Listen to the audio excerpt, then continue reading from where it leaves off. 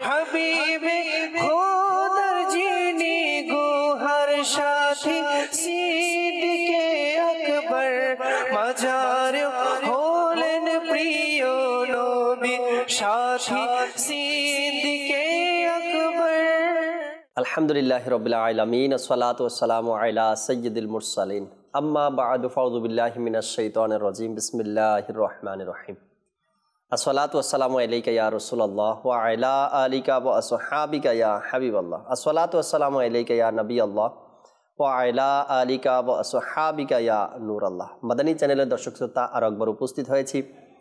মাদানী চ্যানেলের এই বিশেষ অনুষ্ঠান প্রিয় নবীর প্রিয় সাথী।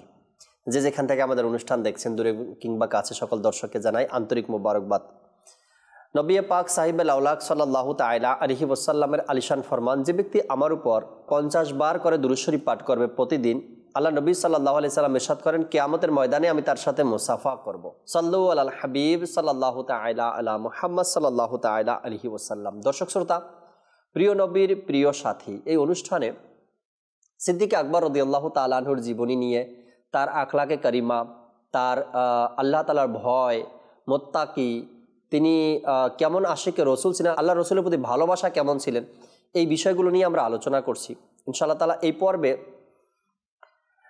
সবচেয়ে বড় মোত্তাকি কে আর কীভাবে তিনি মোত্তাকি হলেন, এই বিষয়গুলো আমরা জানার চেষ্টা করব। সবচেয়ে মজার বিষয় কি, দর্শক শ্রোতা? হয়তো আপনারা অনেকেই অনেক সময় অনেক অনুষ্ঠানে বা অনেক মাহফিলে ওলামা একরামের মুখে শুনেছেন, সর্বপ্রথম ইসলাম গ্রহণ করেছেন সিদ্দিক আকবর। আবার আমরা অনেক সময় শুনি সর্বপ্রথম ইসলাম গ্রহণ করছেন হজরত আলী রদি আল্লাহ তালানু আবার আরও একজনের ব্যাপারে শুনি, সর্বপ্রথম ইসলাম গ্রহণ করছেন মা খাদিজাতুল কোবরা। এই তিনজন ব্যক্তির সম্পর্কে আমরা অনেক সময় হয়তো আমরা দ্বিধাদ্বন্দ্বের মধ্যে পড়ে যাই যে এখন কে আগে ইসলাম গ্রহণ করেছেন। হ্যাঁ এই অনুষ্ঠানে এটাও ক্লিয়ার করার চেষ্টা করব।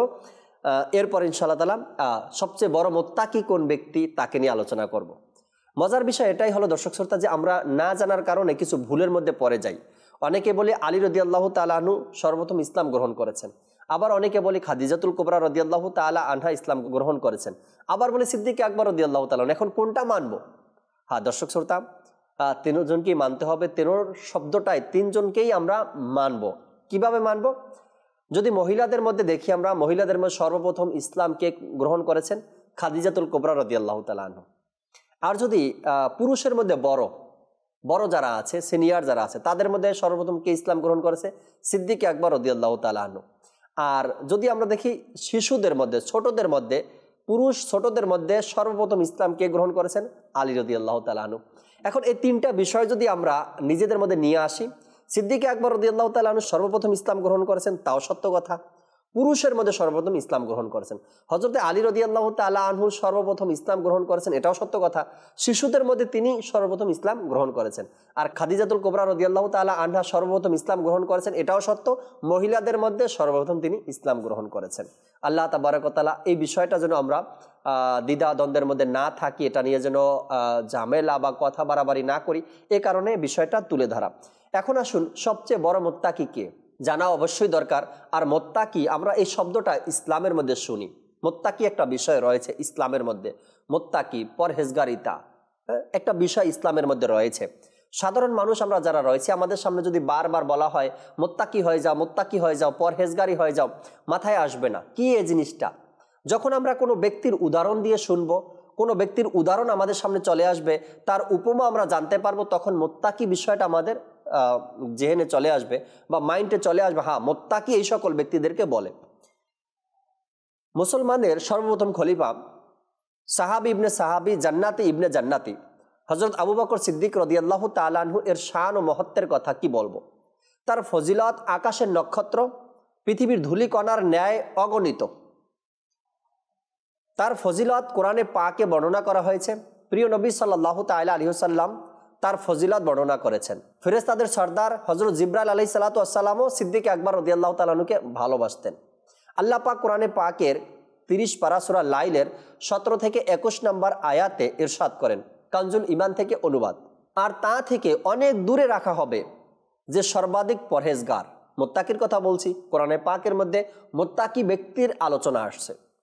আর তা থেকে অনেক দূরে রাখা হবে যে সর্বাধিক পরহেজগার আর যে নিজ সম্পদ প্রদান করে, যাতে পবিত্র হয়, তার উপর কারও কোনো অনুগ্রহ নেই, যার প্রতিদান দিতে হবে। শুধু আপন রবের সন্তুষ্টি কামনা করে, যিনি সবচেয়ে মহান, আর নিশ্চয় অচিরেই সে সন্তুষ্ট হবে। আল্লাহ তাবারকতালা সন্তুষ্টির জন্য এই কাজ। আজ থেকে প্রায় আট শত বছর পুরাতন বুজুর্গ হজরত ইমাম ফখরুদ্দিন রাজি রহমতুল্লাহি তালালাই তাফসিরে কবিরে বলেন মোফাসিরগণ বলেন এই বিষয়ে একমত সবাই। এই আয়াতে মোবারাকায় আমিরুল মোমিনীর হজরত সাইদুনা আবু বকর সিদ্দিক রদিয়াল্লাহ তালানু সম্পর্কে অবতীর্ণ হয়েছে। আর এটা কে বলেছেন? ইমাম ফখরুদ্দিন রাজি রহমতুল্লাহি তালালা এবং অন্যান্য মুফাসিরগণও বলেছেন, এই আয়াতে কারিমা বিশেষ করে আমিরুল মোমিনীর সিদ্দিক আকবর রদিয়াল্লাহ তালানু সম্পর্কে অবতীর্ণ হয়েছে। এই আয়াতে পাকের শানে নজুল কি আসছে? যখন হজরত সিদ্দিক আকবর রদিয়াল্লাহ তালানু মোয়াজিনে রসুল হজরত বিলাল রদি আল্লাহ তালাহুকে অত্যন্ত চড়া মূল্যে ক্রয় করে মুক্ত করলেন। তখন কাফিরেরা আশ্চর্য হয়ে গেল এবং তারা বলল হজরত সিদ্দিকে আকবর রদি আল্লাহ তালাহু এমন কেন করল? হয়তো হজরত বিলাল রদি আল্লাহ তালাহু তার উপর কোনো দয়া বা অনুগ্রহ রয়েছে, যার কারণে তিনি তাকে এত চড়া মূল্যে ক্রয় করেছে এবং মুক্ত করে দিয়েছেন এর প্রেক্ষিতে এই আয়াতে কারিমা অবতীর্ণ হয় এবং এই আয়াতের পরবর্তী আয়াতে এ কথা প্রকাশ করে দেওয়া হয়েছে যে হজরত আবু বকর সিদ্দিক রদিয়াল্লাহ তালাহু এই কাজটি শুধুমাত্র আল্লাহ পাকের সন্তুষ্টির জন্যই করেছেন। কার অনুগ্রহ পরিশোধ করার জন্য নয়, আর তার উপর হজরত বিলাল রদিয়াল্লাহ তালাহুও অন্য অন্যদের কোনো অনুগ্রহ ছিল না। কেমন ছিল সিদ্দিক আকবর রদিয়াল্লাহ তালাহু এক কাজ করেছেন তিনি। হজরত বিলাল রদি আল্লাহ তালাহুকে চড়া মূল্যে, অর্থাৎ যা মূল্য ছিল না, তার চেয়ে দুই গুণ, তিন গুণ বেশি দিয়ে বিলাল রদি আল্লাহ তালাহুকে ক্রয় করলেন এবং তাকে মুক্তি করে দিলেন। অর্থাৎ তাকে ছেড়ে দিলেন, আজাদ করে দিলেন, মুক্ত করে দিলেন। অমুসলিম যারা ছিল, তারা বলা বলি শুরু করল, সিদ্দিকে আকবর, এই কাজটা কেন করতে গেল? এত চড়া মূল্যে তাকে ক্রয় করার কারণটা কি ছিল? প্রয়োজনটা কি ছিল? তো আল্লাহ তাবারকতালা এই কথার উপরে আয়াতে কারিমা নাজিল করেন। সিদ্দিকে আকবর রদি আল্লাহ তালাহু কারও থেকে কোনো দয়া পরিশোধ করার জন্য নয়। এটা সিদ্দিক আকবর রদি আল্লাহ তালাহু আল্লাহ তালার সন্তুষ্টি অর্জন করার জন্যই করেছেন। মাদানী চ্যানেলের দর্শক শ্রোতা, সিদ্দিক আকবর রদি আল্লাহ তালাহুকে আমরা সবাই ভালোবাসি। ছোট হোক বা বড় হোক, বুঝদার হোক বা অবুজদার হোক, আলিম হোক বা গায়রে আলিম, হাফিজ হোক বা হাফিজ না হোক, সকল ব্যক্তি কিন্তু সিদ্দিক আকবর রদিয়াল্লাহ তালানুকে ভালোবাসি। কেন ভালোবাসি? তিনি একজন সাহাবি। আর কিছু আমরা না জানলেও সে ইসলামের প্রথম খলিফা, ইসলামের জন্য তার কোরবানি, ইসলামের জন্য তার উৎসর্গ, আল্লাহ রসুলের প্রতি তার ভালোবাসা, এত সব কিছু না জানলেও একটা বিষয় তো সর্বসাধারণ সবাই জানি, সিদ্দিক আকবর রদিয়াল্লাহ তালানু সাহাবি। আর এই বিষয়টার উপরেই সকল মুসলমান তাকে ভালোবাসে, মোহাব্বত করে। আচ্ছা জমিনে তো সবাই ভালোবাসে তাকে, মুসলমান সবাই তাকে ভালোবাসে। আসমানে তার মর্যাদা কি রয়েছে? আসমানে তার সম্মান কি রয়েছে? আসমানবাসী যারা রয়েছে ফিরেস্তারা যারা রয়েছে, সিদ্দিক আকবর রদি আল্লাহ তালানুকে কোন দৃষ্টিতে দেখে? এটাও জানার দরকার আমাদের। আমরা জানব যে জমিনবাসী নাকি আসমানবাসী? হজরত সিদ্দিক আকবর রদি আল্লাহ তালানুকে বেশি ভালোবাসেন, সম্মান বেশি দেন। আজ আমরা ইনশাআল্লাহ তালা কিতাব থেকে জানার চেষ্টা করবেন ইনশাআল্লাহ তালা জান্নাতি ইবনে জান্নাতি আবু হরারা রদি আল্লাহ তালানু থেকে বর্ণিত। একবার হজরত জিব্রাইল আমিন আলহি সালাতাম রসুল পাক সাল্লাহ তালা আলহি ওয়াসাল্লামের দরবারে উপস্থিত হলেন। জিব্রাইল আমিন আল্লাহ রসুলের দরবারে আসলেন। এক কোনায় বসে গেলেন, এক সাইডে বসে গেলেন, এক কোনায় জিব্রাইল আলি সাল্লাতাম বসে গেলেন। হজরত আবু বকর সিদ্দিক রদি আল্লাহ তালাহু সেখান থেকে যাওয়ার সময় জিব্রাইল আলাই সাল্লাতাম আরজ করলেন, ইয়া রসুল্লাহ সাল্লাহ আলি সাল্লাম ইনি কি আবু কাহাফার ছেলে কিনা? অর্থাৎ আবু বকর সিদ্দিক রদি আল্লাহ তালানু সেখান থেকে যখন পথ অতিক্রম করছেন বা সেখান থেকে চলে যাচ্ছেন, তখন জিব্রাইল আলি সাল্লাতাম আল্লাহ নবী সাল্লাহ আলি সাল্লামকে প্রশ্ন করলেন, ইয়া রসুল্লাহ সাল্লাহ সাল্লাম, ইনি কি আবু কাহাফার ছেলে? আবু বকর সিদ্দিককে ইশারা করে জিজ্ঞাসা করলেন। তখন হুজুর সাল্লাহ আলি সাল্লাম ইরশাদ করলেন হ্যাঁ জিব্রাইল, ইনি হলেন আবু কাহাফার ছেলে। তোমরা আসমানে অবস্থানকারীরা তাকে কি চেনো? অর্থাৎ আমরা তো দুনিয়াতে আবু বকর জানি, বা আবদুল্লাহ জানি, বা আতিক জানি, বা সিদ্দিক জানি, সিদ্দিকে আকবর জানি। হুজুর সাল্লাহ সাল্লাম জিজ্ঞাসা করলেন, জিব্রাইলকে তাকে তোমরা আসমানে কোন নামে জানো? কীভাবে চিনো? তার পরিচয় কি আসমানে? জিব্রাইল আলহি সাল্লাতাম আরজ করলেন, ওই প্রতিপালকের শপথ, অর্থাৎ ওই স্রষ্টার শপথ, যিনি আপনাকে সত্য নবী বানিয়ে প্রেরণ করেছেন, আবু বকর জমিনের তুলনায় আসমানে বেশি প্রসিদ্ধ।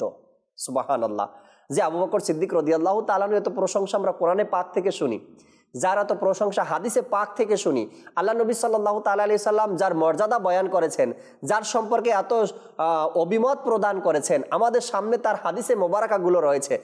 আর জিব্রাইল বলে, জমিনের চেয়েও আসমানে তার প্রসিদ্ধ বেশি, আর আসমানে তার নাম হলো হালিম। আল্লাহ তাবারকতালা দয়া করুক সকল মুসলমানদের প্রতি আমরা যেন সিদ্দিকে আকবর রদি আল্লাহ তালানুকে নিজের চেয়েও বেশি ভালোবাসতে পারি। কেননা হুজুর সাল্লাহ আলি সাল্লাম সিদ্দিকে আকবরকে কতটা ভালোবাসছেন, নিজের গুহার সাথী বানিয়েছেন, নিজের মাজারের সাথী বানিয়েছেন, আর সিদ্দিকে আকবর রদি আল্লাহ তালানু সম্পর্কে কত সুন্দর হাদিসে কারিমাও আমাদের সামনে প্রমাণিত রয়েছে। হুজুর সাল্লাহ আলি সাল্লাম সিদ্দিকে আকবর রদি আল্লাহ তালানু সম্পর্কে ইরশাদ করেন।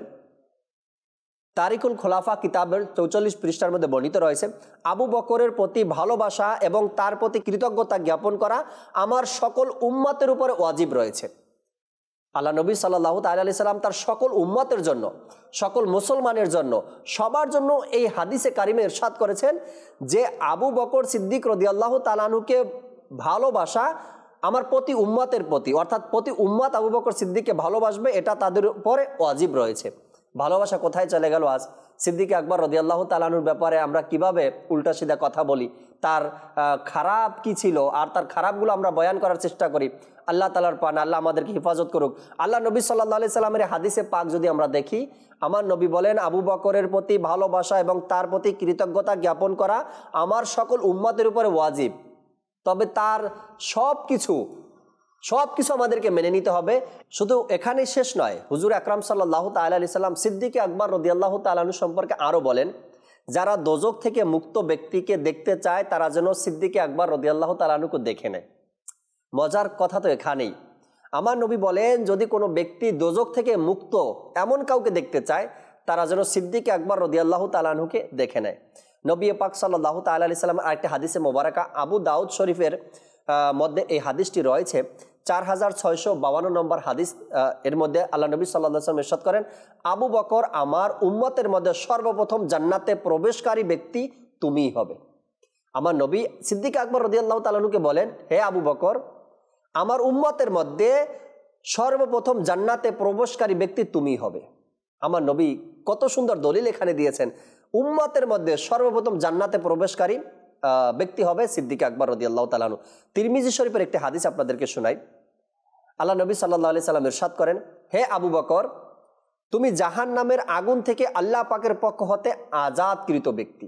অর্থাৎ জাহান নামের আগুন তোমাকে স্পর্শ করতে পারবে না, আল্লাহ তালার পক্ষ থেকে তোমাকে মুক্ত করে দেওয়া হয়েছে, আজাদ করে দেওয়া হয়েছে। প্রিয় নবী সাল্লাহ তাইলা আলী সাল্লাম আরও বলেন, হে আবুল হাসান, অর্থাৎ হুজুর সাল্লাহ আলি সাল্লাম হজরত আলী রদি আল্লাহ তালানুকে সম্বোধন করে ইরশাদ করলেন আমার নিকট আবু বকরের তেমনই মর্যাদা, যা আল্লাহ পাকের নিকট আমার মর্যাদা। সুবাহান আল্লাহ সুবাহান আল্লাহ আল্লাহ পাকের দরবারে আমার নবীর যেমন মর্যাদা, আমার নবী বলেন, আবু বকরের মর্যাদা আমার নিকটে তেমনই।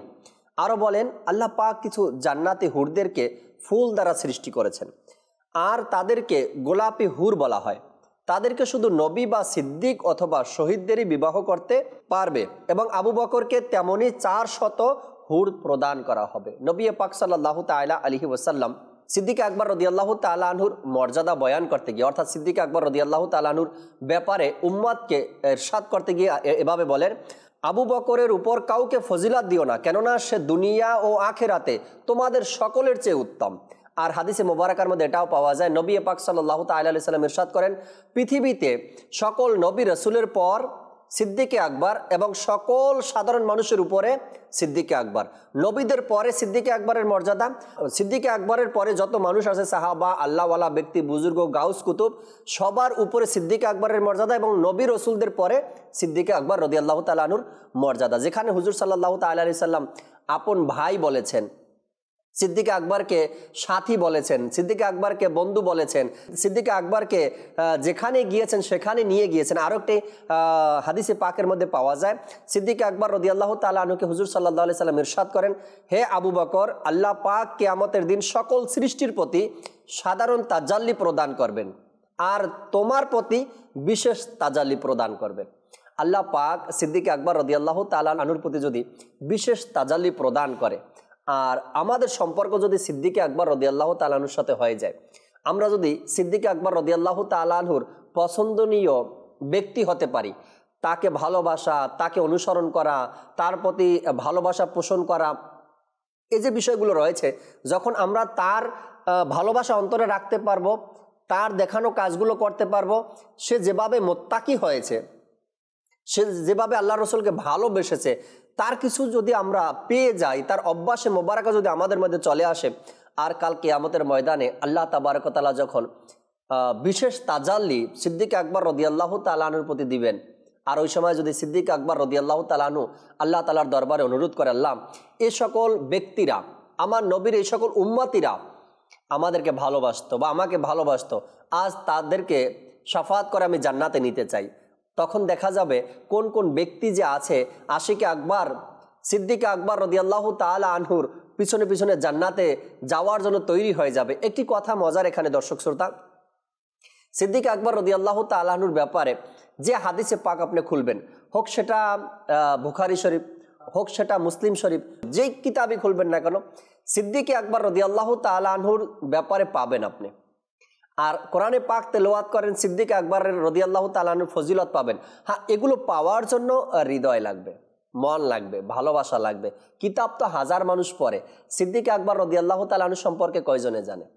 কোরআনের তাপসির তো অনেকে কো- কোরআন থেকে সিদ্দিক আকবর রদিয়াল্লাহ তালানুকে কে খুঁজে পায়? এর জন্য সৈয়দ আলা হজরত রহমতুল্লাহি তালাইয়ের যে কানজুল ইমান রয়েছে, এটা আমাদেরকে অধ্যয়ন করতে হবে।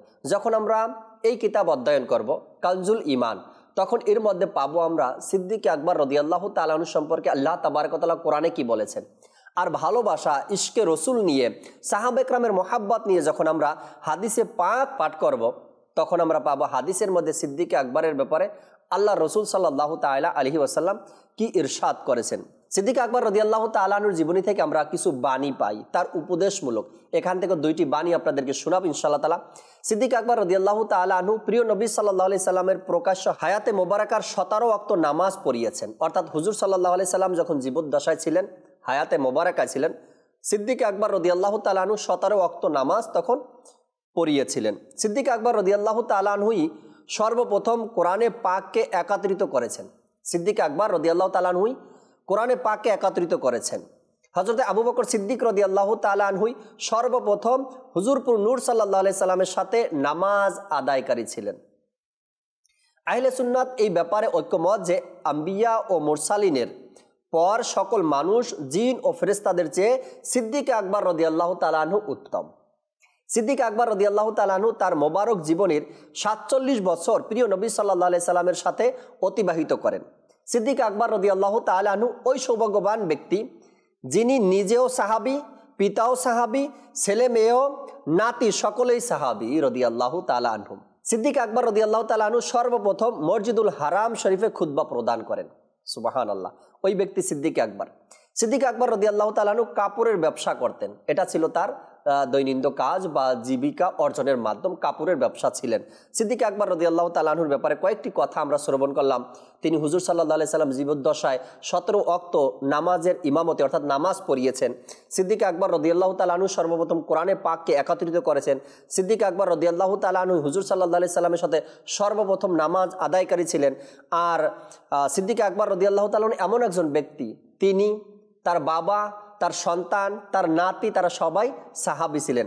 আর সিদ্দিক আকবর রদিয়াল্লাহ তালাহুই সর্বপ্রথম মসজিদে হারামে খুদ্া প্রদান করেন। আল্লাহ তাবারকতাল আমাদেরকে সিদ্দিক আকবর রদিয়াল্লাহ তালা আনহুর প্রতি ভালোবাসা পোষণ করা যে সকল ব্যক্তিরা রয়েছে, তাদের অন্তর্ভুক্ত হওয়া, সিদ্দিক আকবরকে ভালোবাসা, শ্রদ্ধা করা, সম্মানের সাথে রাখা, দেখা এবং সিদ্দিক আকবরের শান ও মর্যাদা বয়ান করার তৌফিক দান করুক।